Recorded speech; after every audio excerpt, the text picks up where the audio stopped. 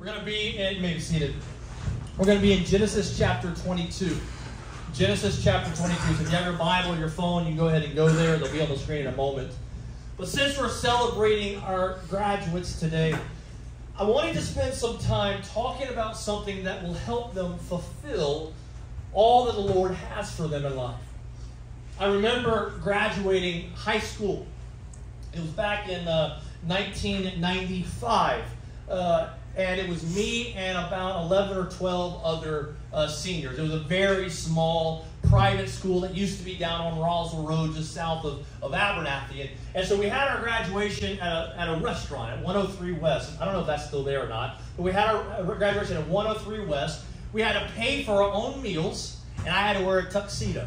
All right, so that was my graduation. That's probably a little different than what y'all are going to experience on, on Tuesday. But that's what I got to experience. Now, I got the typical graduation when I graduated from Reinhardt University and Asbury University. Uh, I got the typical graduation there. And even though I never really cared about attending my graduation ceremonies, uh, I only did it because my, my, mama made me. Uh, I still felt this sense of excitement mixed with fear and dread as I realized that I could do anything I wanted to after graduation. Now, the fear came in because I realized I could do anything I wanted to after graduation, but I had no idea what I wanted to do after graduation. I was not really listening to God that much in my life at that time. And so I was completely lost. I had no idea what I was going to do with my life. And so, if, if you know today exactly what you're going to do after you graduate, I want to say congratulations to you. All right? Because you're ahead of the curve. Because a lot of people uh, don't know what they're going to do when they go to college, right? But you may know you want to be a doctor like your mom, all right? You may know you want to be a teacher. You may know you want to be a lawyer. Oh, I hope not. You, you may want to be a programmer. But whatever it is, you know that you're work, what you're working towards, right? And you can't wait to begin it. Maybe if you're a, a, a, like a lot of young people, you think, all right, I'm going to go to college, I'm going to make good grades, and then I'll graduate, and then I'll begin my career. It'll be that simple, right? I don't want to burst your bubble, but it doesn't really happen like that for most people, right? The reality is, if your desire is to do what God created you to do, then the enemy is going to do everything he can to throw you off course. And guess what? God is going to allow him to do it at times to try to throw you off course. See, the truth is, you are going to be tested. And I don't mean in biology or history. Your faith is going to be tested.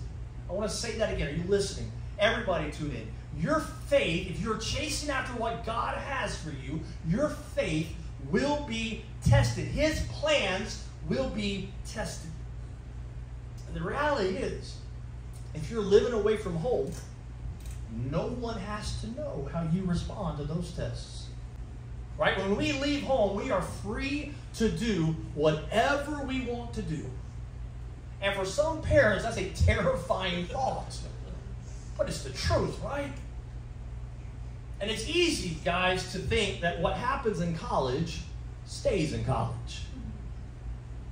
Right? Your parents aren't there to stop you or catch you, right? And all the parents are saying, Will you please stop talking about that? I get it.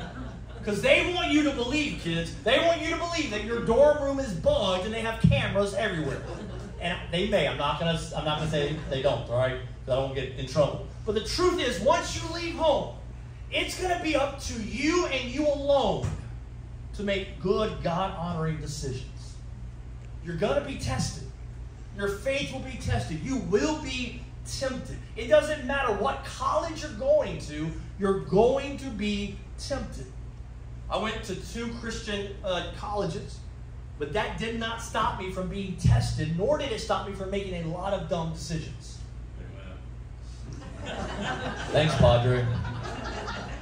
And some of those decisions continue to affect my life to this day.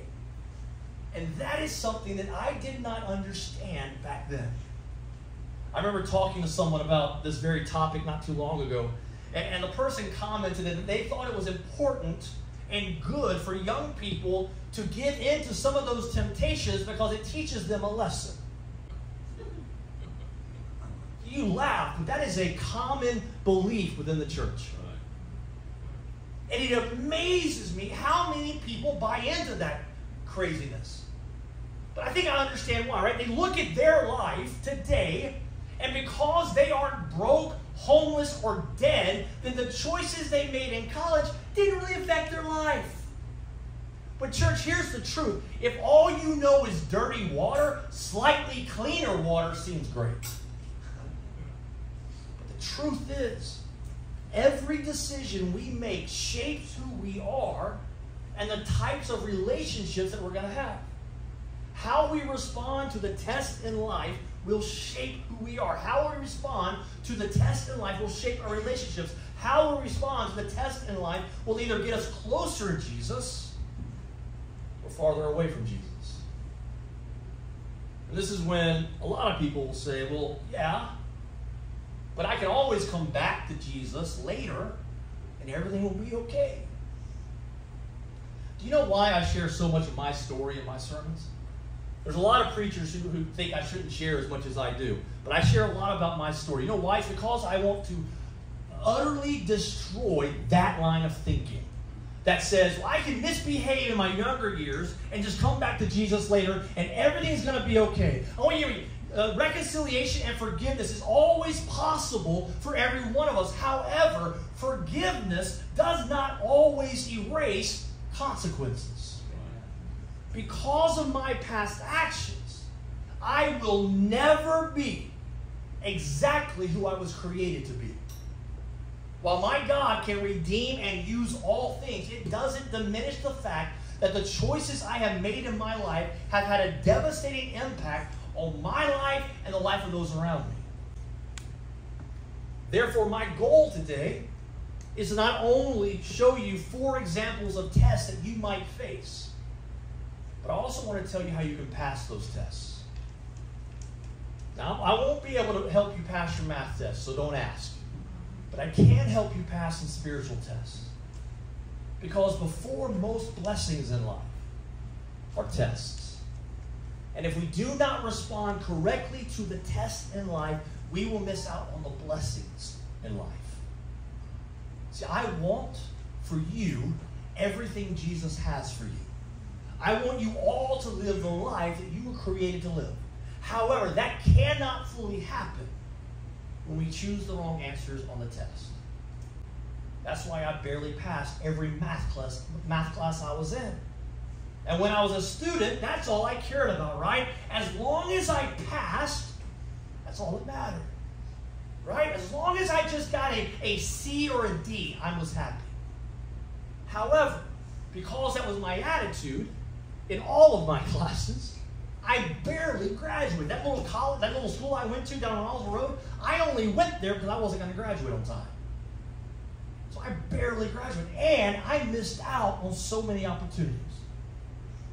When I was in high school, the uh, choral director at Georgia State University, Brent, uh, saw me sing on a, on a uh, saw me sing a solo uh, in, in church and asked me to attend Georgia State uh, University so that he could work with me. He wanted me to be in the choir. Now, as soon as he asked me to do it, my head just grew like three sizes, right? Because I had been personally asked to attend Georgia State University. So here we go, right? This was the beginning of my future. I was about to become a world class singer. I'd probably tour the world. I was going to be rich and famous. So you can imagine my surprise when I applied to Georgia State and they very politely said, no thank you. I couldn't believe it. I mean, didn't they know, know who I was? I was special. I was important. How could they say no to me? Turns out all, all that not caring about my grades didn't turn out too great for me. Imagine that. I want that for you guys. Whether you're headed for college or retirement. I don't want you to miss out on the life you were created to live. Whether you're still in school or in your 40s, 50s, or 60s, I don't want you to miss out on the blessings the Lord has for you. So today I want to look at four different ways we're tested in life. So it's Genesis chapter 22, beginning in verse 1. It says this Sometime later, God tested Abraham. He said to him, Abraham, Here I am, he replied. Then God said, Take your son, your only son, whom you love, Isaac, and go to the region of Moriah. Sacrifice him there as a burnt offering on a mountain I will show you. Let's stop there for a moment. We're going to call this the obedience test. The obedience test. But there are actually two tests in, that, in those two verses. The first is God calling Abraham. Did you know that you don't have to answer God? It's true. No one has to answer God. If you feel God is calling your name, you don't have to answer. Your parents cannot make you answer the Lord. It is your right, students, it's your right, church, to say no to God. So, what do you think? When you leave home and you're on your own, do you think you'll answer when He calls you? That's the first test. And then there's the obedience test. The obedience test was what happened after Abraham answered the call. God told Abraham to kill his son Isaac as an offering to God. Now, just because you don't have a kid or, or plan on having a kid anytime soon, hear that, you don't plan on having a kid anytime soon, don't fool yourself into thinking that you're never going to be tested in this way. Don't get hung up on the fact that God told Abraham to sacrifice his son. The sacrifice wasn't about Isaac. The sacrifice was about Abraham being willing to let go of the most important thing to him, his son. We, we all have a most important thing, don't we? We all have a most important thing. I don't know what that is for you, but, but I want you to think about that something that you could not imagine living without. Abraham and his wife Sarah had to wait until they were in their 80s and 90s before they could have their first child. And now God was calling Abraham to kill him. The Lord came to Abraham and basically said, You know that most important thing in your life? I want you to kill it. If Abraham chose to be faithful, it meant he would have to live the rest of his life without the most important thing in his life. Could you do it? I don't mean your kid, but the most important thing, whatever it is, could you do it? If you've planned to be a teacher your entire life, could you walk away from that if Jesus told you to? If you had worked hard all your life to be able to afford the nice house and all the nice toys, could you give it all away if Jesus told you to? Or maybe you're dating the hottest guy in school. Could you walk away from that relationship if the Lord told you to? God wanted Abraham to be willing to let go of the most important thing in his life. And it was up to Abraham to answer. So look back at the passage in verse 3. It says, Early the next morning, Abraham got up and loaded his donkey. He took with him two of his servants and his son Isaac. When he had cut enough wood for the burnt offering, he set out for the place God had told him about. On the third day, Abraham looked up and saw the place in the distance. He said to his servant, Stay here with the donkey while I and the boy go over there. We will worship, and then we'll come back to you. Abraham took the wood for the burnt offering and placed it on his son Isaac, and he himself carried the fire and the knife. As the two of them went on together, Isaac spoke up and said to his father Abraham, Father, yes, my son, Abraham replied. The fire and the wood are here, Isaac said. Where is the lamb for the burnt offering? Abraham answered, God himself will provide the lamb for the burnt offering, my son.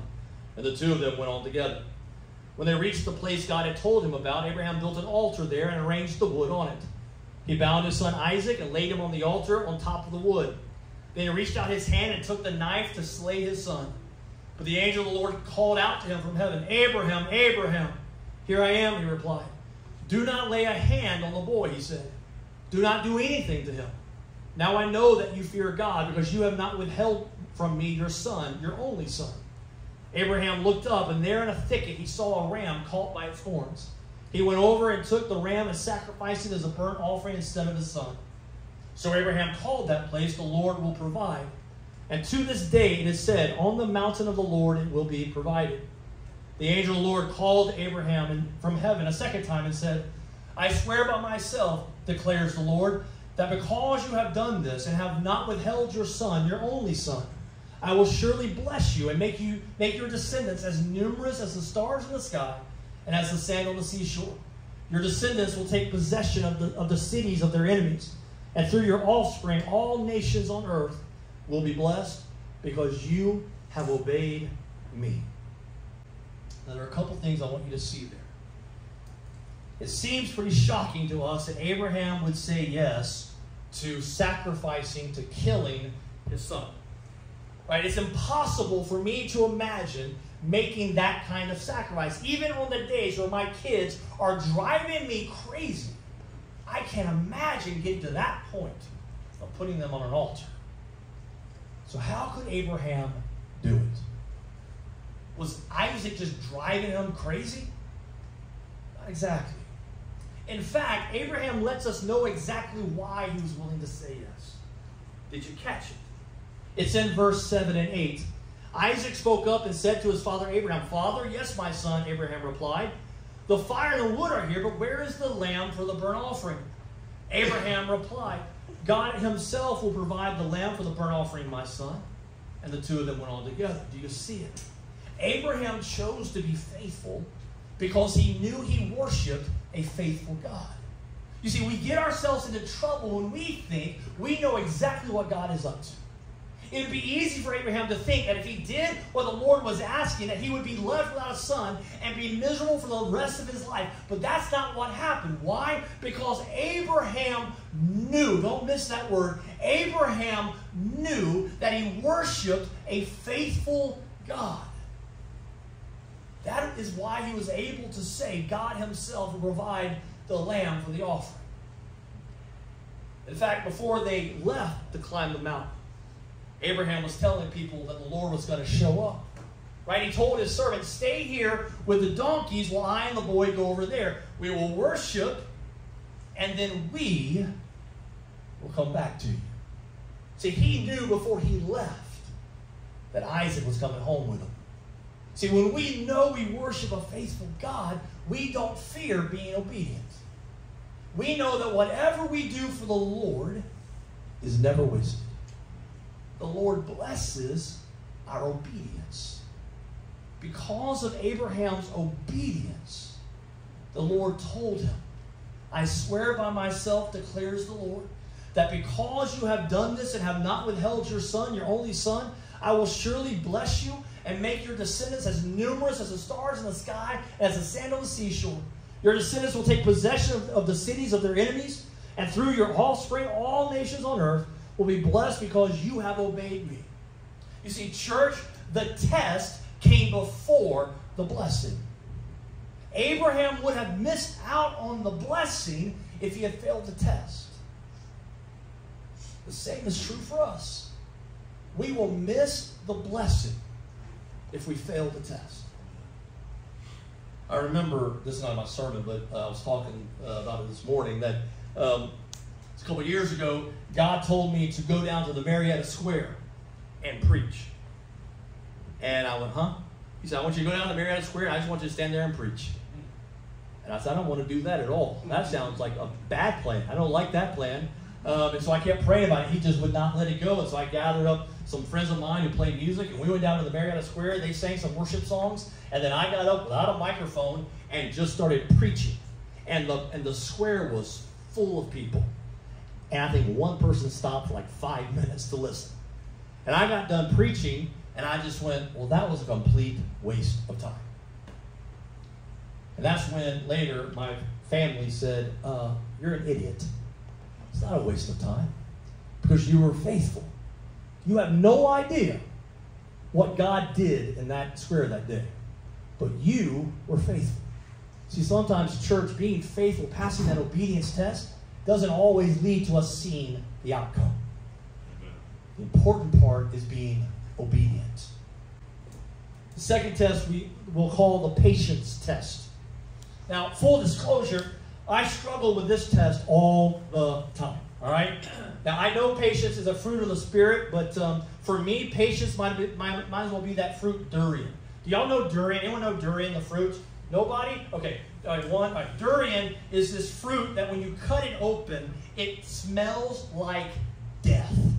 and dirty socks mixed together. Like it is, I, have never smelled it, but I've watched enough, enough, cooking shows to know this thing has to be like the worst smelling thing in the world, right? It is so bad that it's banned from public spaces in Singapore and Malaysia.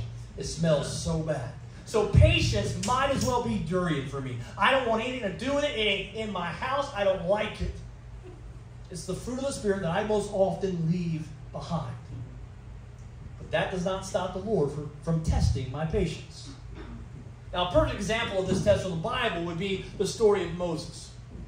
Right? No sooner does Moses rescue and deliver the Israelites from the Egyptians that they are brought before the Red Sea with nowhere else for them to go. God has called Moses to lead the Israelites to, their, to the promised land, but then they're stopped in their tracks by the Red Sea. And that's a pretty big obstacle. That's a pretty big obstacle. And Moses doesn't have a boat, especially for the million or so Israelites that are following him. So after four, over 400 years in captivity, they were finally headed to freedom to only be stopped by the Red Sea. I have no problem admitting this in church that I probably would have screamed, You have got to be kidding me, right? God finally frees us to only have us recaptured because of a dead end. Stopped.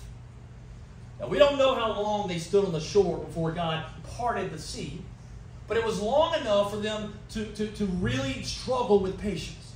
In fact, some began to complain to Moses. Some were even willing to go back to Egypt because at least there they had food. Right? Today we live in a microwave world. We don't have to wait long uh, for much anymore. Amazon can get orders to our house even before we order them, right? It seems that way. We don't expect to have to wait for much in our life. I know when I was in college, I was convinced that whatever job I ended up doing, I would move up pretty quickly. I was convinced that I would be making $150,000 a year in no time. I'm still waiting uh, to make that. That's why we're going to pass the offering basket one more time today. That's a joke. Kidding. Uh, but you're welcome to put more in. Uh, but that didn't happen to me, right? We convince ourselves that if God wants us to have something, he, He's not going to make us wait for it. I'm not sure why we think that, but we do. I mean, he may have made, he may have made Moses wait, not us. But guess what? Patience is a fruit of the Spirit because God knows us and knows that we all really stink at being patient. What the Israelites did not understand at the time was that the dead end was just delayed deliverance. That's all. The dead end was just delayed deliverance. And sometimes, church, that delay is by design. God will hold back a breakthrough. God will hold back an answer to prayer, a deliverance, in order to test us. Are we faithful? Are we patient?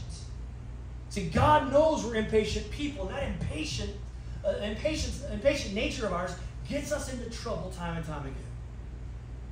We may believe God has a spouse for us, but we get tired of waiting, and so we sleep with our boyfriend or girlfriend. We may believe God has a great job for us, but we get tired of waiting, and so we take the first job that's offered to us. Impatience has not only gotten me into much trouble in my life, but it's also caused me to miss out on so much in my life. My impatience led me to missing out so much in my relationship with my wife. Of course, I didn't know that at the time, right? I figured my impatience at the age of 18 would never have a negative effect on me when I was 35. Church, I was very, very wrong. If God tells you He's going to open a door for you, your job is to sit in front of that door and praise Him. You rejoice over the future opening of the door. Amen. No matter how long it takes Him to open that door. Some of you are old enough, Mike, to remember waiting outside a Turtles record store to buy uh, concert tickets. See, back in the day, kids, we actually had to go to the store to buy music. And we would line up for hours before the store would open in order to buy tickets because we didn't want to miss the opportunity. We would sit there for hours knowing there was no guarantee we would get a ticket. Right? But we would sit there because we wanted it. We wanted it so badly, we were able to we were willing to sit there for hours. And yet we refused to wait for what God has for us, even though we know He will give it to us if we're faithful. If God has led you to a door, He will open it if you remain faithful and wait on Him. And so, if you're waiting on Him, then praise Him in the waiting. Don't let your impatience lead you to make decisions that have far reaching consequences on your life and the life of others. So, are you patient? The third test, test is the uh, faith and belief test. The faith and belief test. How many of you have ever begged God to show you the entire road that He's calling you to walk down? Right? He's called you to something. You're like, okay, let me see the entire road. I want to see every pitfall. I want to see every turn. I want to see it all. Right? Nobody likes to be given a piece of IKEA furniture without instructions or even a picture of what the product's going to be. Right? It would drive us crazy. We want to see the picture. We want to see the end product before we continue on. I mean, fine, God, you're calling me to this career. Before I say yes, just how much money are we talking about here? We tend to want to know exactly what we're walking into. And again, we can look at the story of the Israelites. Shortly after delivering the Israelites from the Egyptians, Moses brought them right up to the promised land. Now, instead of sending all of them in immediately, he sends in 12 spies. So they could see what the land had and, and who was in the land, what was, what was going on in the land. Right? It's a good plan. So if that's the land, let's go see what it's going to be, and then y'all come back and report to us what you saw. And so the 12 spies sneak into the promised land, and they return with a report. They come back telling the rest of the people that the people who dwell there are strong that many of the cities are, are fortified, that it was a land that, that devoured its inhabitants, that all the men they saw were of great stature, and that they were like grasshop, grasshoppers in the face of these types of, of giants. It's not exactly the report that people wanted to hear. And so, not surprisingly, most of the people feared going where God was leading them. However, there was Joshua and Caleb Joshua and Caleb were two of the 12 spies, and they came back with a very different report. They saw the exact same things the other 10 spies saw, but they had a completely different outlook and a completely different perspective about all of it. They had just seen God miraculously deliver them from, e- uh, from Egypt, so they knew God would have no problems in taking out the giants and the strongholds they saw in the promised land. However, as a result of these other 10 spies coming back with this bad report, this kindled the anger of God and caused him to then pronounce a very severe judgment on all of them. He told the 10 spies that, that they and all the other men over 20 years of age would not enter the promised land. He said that they would wander in the desert for the next 40 years, where they would then all eventually die out there. However, since Joshua and Caleb had a different spirit about them, and fully believed that God could take out all of these giants and strongholds, he told them that both of them and all the people under 20 years of age would be the ones who would be allowed to enter the promised land. All because they had enough courage, faith, and belief in the Lord that he could give them the victories once they had crossed over and started to possess parts of the land that he wanted them to have for themselves. That's the faith and belief test. God showed them exactly what was waiting for them on the other side. And the test was can they believe in God and His supernatural power to defeat the enemies and strongholds they would have to directly face? Or will they want to turn around and go back into the desert, never giving God a chance to show them what He could miraculously do for them? See, there's a reason God rarely shows us too much of the road ahead of us. But when it but when he, when he does, what happens if we don't like what we see? Will we be faithful and believe that if God has called us to walk this road, He will provide the means? God wants to see how we will respond when the road ahead is not exactly what we thought it should be. See, it's pretty common to head into college thinking everything is going to be great. And I hope it is for you. I hope when you go to college, all four or five years, or six years for me, uh, all those years are great years for you. However, I have lived long enough to know if people are involved in something, that something can go sideways really quickly. So, what happens when the road you thought would be smooth becomes rocky and rough? Will you bail? Will you bail? Or will you trust? And finally, the fourth test is the sin test. After Jesus was baptized, the Holy Spirit led him into the wilderness for a time of, of, of prayer and fasting.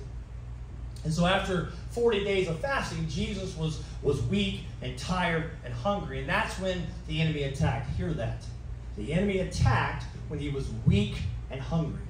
When you're at your weakest is when the enemy attacks the most. But why would God send his son Jesus out into the desert to let the devil tempt him, knowing full well that he was going to pass the test anyway? And if he wanted to test him, why this kind of test? See, Jesus had to face temptation so that he could understand what it's like for each of us. But it's vital for us to understand how Satan tempted Jesus.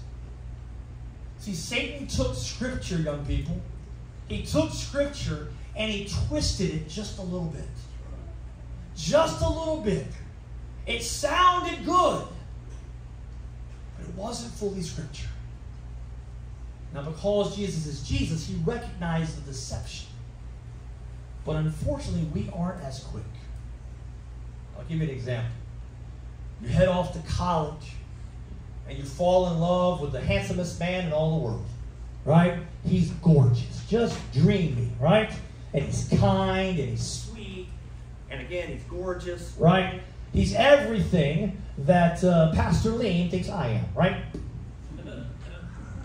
Thanks, babe, for the encouragement there. All right. Hoping for an amen there. Uh, all right. But you're convinced that because he's so gorgeous and dreamy and kind, that he is the one that you're going to marry. Right? This guy is your future husband. And he thinks the same thing about you. He thinks you're gorgeous, sweet, and kind, and he thinks this is the girl that I'm going to marry. Now, you grew up in church, you've heard a thousand sermons and lessons about premarital sex. You've been told a million times that premarital sex is a sin. But what about premarital sex with a person that you're you are convinced you're going to marry?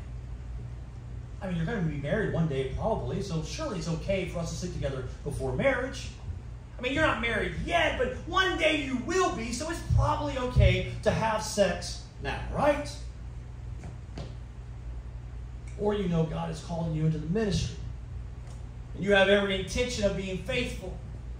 But then you, you find out how much you're going to make doing that thing, and that's when the enemy attacks. He says, go after the money. I mean, after all, the more money you have, the more money you can give to the church. I mean, doesn't God want you to tithe? And wouldn't it be nice to be able to make your tithe a lot bigger? So go after the money. That's what the enemy told me. After I graduated college, I didn't know what I was going to do. And, and uh, the, the private school at the church I grew up in, they needed a long term substitute for sixth and seventh grade Bible. And so they asked me to come in and substitute. And so I did. And at the end of the, the, the quarter semester, whatever we were on, um, they brought me a contract said, We'd like to keep you on staff. And the exact same time, I got a job offer at this computer company uh, not too far down the road that paid more money. Guess which one I chose? Guess which job I hated? the one I chose. I should have stayed teaching, but I didn't. I chased the money. I don't know what it will be for you. But I promise the test is coming. If God allowed Jesus himself to be tempted to sin, don't you think he'll let you? If God allowed Adam and Eve to be tempted to sin, don't you think he'll let you be tempted? Now, Jesus passed the test and began his ministry to save the world. Adam and Eve failed their test and they lost paradise. See, throughout the Bible, you can find men and women of God being tested. It just comes with the territory, church. Those who follow God will be tested and attacked. Satan will do anything he can to throw us off course, to lead us away from life into death. He is desperate to keep you from the blessings that God has for you. And every time we fail the test, we either lose out on what God has for us or we delay what God has for us. Every call of God will be tested. Look in the Bible and find every person God called. And as soon as they said yes, look for all the tests that they had to go through. Everyone who desires to be faithful to the Lord will be tested. I guarantee you that. I guarantee that. Graduates, I have no idea what tests you'll face in college.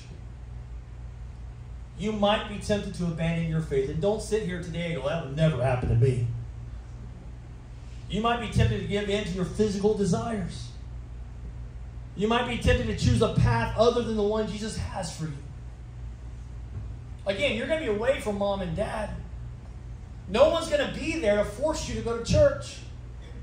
No one's going to be there to remind you to read the Bible and to pray every day. It is going to be all up to you. No one forced me to study in school.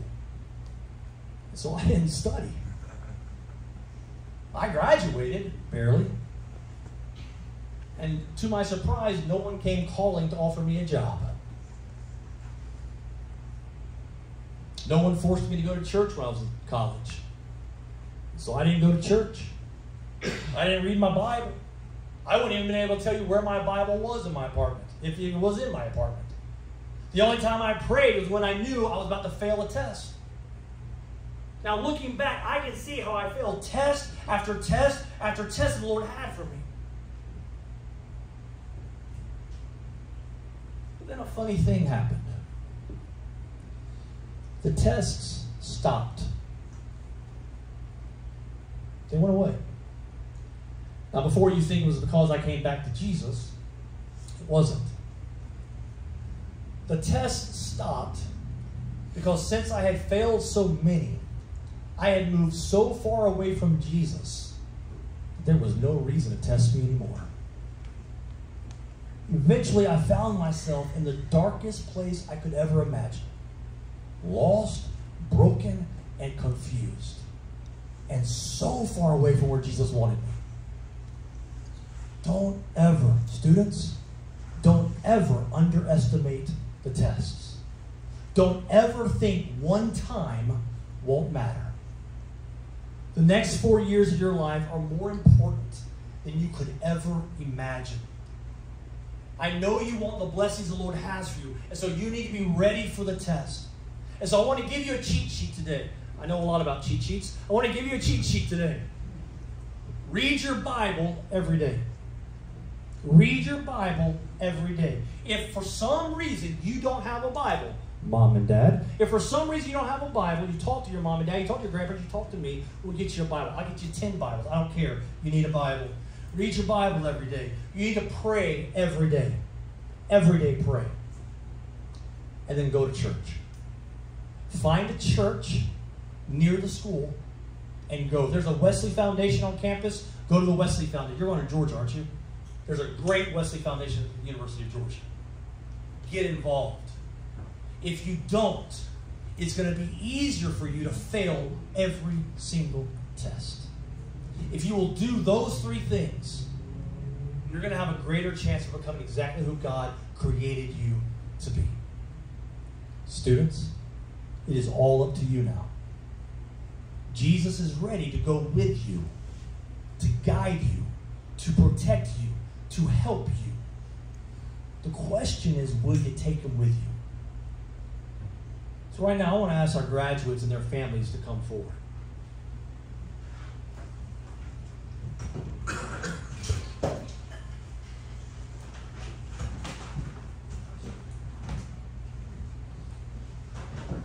Graduates, if you'll, you can kneel on the pillows. And mom and dad, grandma and grandpa, uh, y'all come down too. Just stand behind your graduate. And I want each of y'all to lay hands on them.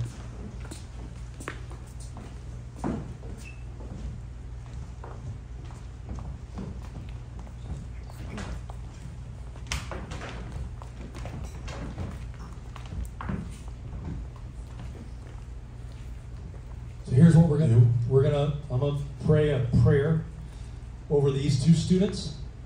Families, I ask that you pray your own prayer. Uh, as I pray, you pray out loud if you want to. You pray silently, but pray over these students, a prayer of blessing. And then, congregation, I want to invite you to pray over these students. And then, and then after I pray, we're going to be able to um, put a blessing on them. so join me in prayer. Gracious Heavenly Father, Lord, I thank you for the awesome opportunity that we have today to not only celebrate these two amazing young women, but also pray over them. To pray for, for them to, to hold on to you as tightly as possible as they go off to college. Lord, you know what's waiting for them. You know the, the trials and the tribulations that they're going to have to face. You know the temptations that, that are going to be uh, coming their way as soon as they step on a campus. Lord, we, we may not know what they are, but you do. And so, Lord, today we pray that they would seek the Holy Spirit to fill them up. They would ask Him to fill them up to overflowing so that they could withstand all the temptations of the devil and remain faithful to you. Lord, I pray that each of them would be witnesses of the love of Jesus Christ on campus. That they would become, they would come, be, be, they would come to be known as women of faith on campus that people who are struggling with their faith or struggling with suicidal thoughts, struggling with depression, struggling in relationships would come to them and say, I need help. And I'm coming to you because I know you're connected to Jesus. Lord, we pray for protection for them. Lord, you know the feelings that every mom has about sending their child off to college. You know the fear every dad has about sending their uh, daughters off to college. Lord, I pray that you would be with the moms and the dads and the grandmas and grandpas. Give them strength, Lord, to trust in you. But Lord, also remind them every single day to pray for their daughter at college. And maybe, Lord, they set up a routine where every day or every week they gather on FaceTime or on Zoom and spend time praying and reading the Bible together. But Lord, don't let us neglect these two as they leave us. Let us remember they're still a part of this church. And we're going to continue to pray for them. And we're going to be willing to help them any way we can. So, Lord, bless them, protect them, provide for them, and let them be a witness to the goodness of our God. I pray this all in the name of Jesus. Amen.